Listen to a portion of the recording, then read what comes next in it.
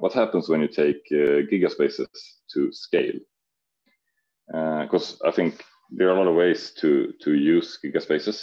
Of course, we use one use case, and I think what we kind of do special at Avanza is not only that we have a large volume of data in, in gigaspaces, because we have something like I don't know, 20 or 30 terabytes of in-memory data on top of our Gigaspace platform. Uh, but we also use it all over the bank. It's our only way to store data for all our services.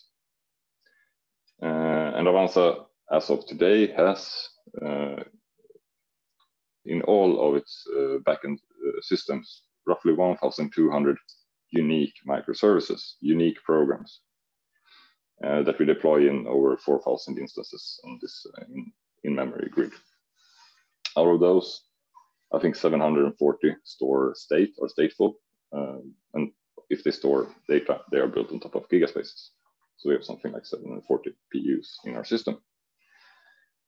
Um, and these services, they range from storing like half a gigabyte up to, at the moment, 3.2 terabytes, and we deploy them anywhere from 2 to 114 instances per service.